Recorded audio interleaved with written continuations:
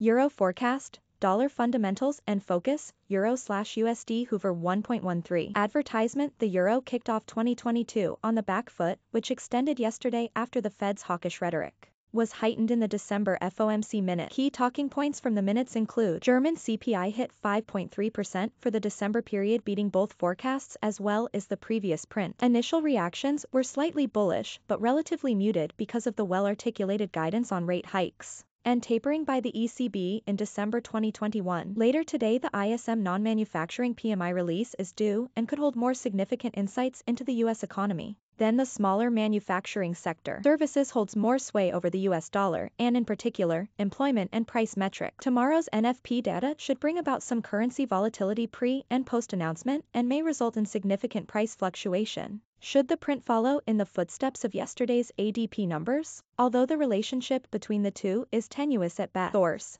Daily FX Economic Calendar. Your slash USD Daily Chart. Chart prepared by Warren Venketas, IG. Technically, Daily euro to US dollar price action reflects a consolidatory pattern since later November 2021. The pattern resembles that of a rising wedge or bear flag, traditionally bearish continuation pattern. Should prices break below wedge slash flag support, this will open up further downside towards subsequent support level. Momentum remains bearish with prices trading below all three EMA levels with the relative strength index reading slightly below 50. Resistance level. Support level. IGCS shows retail traders are currently distinctly long on euro to US dollar with 59% of traders currently holding long positions. At Daily FX we typically take a contrarian view to crowd sentiment and the fact traders are net long. Is suggestive of a bearish inclination however, the recent net changes in longs and shorts point to a bullish bias. Contact and follow Warren on Twitter, at WVenkita.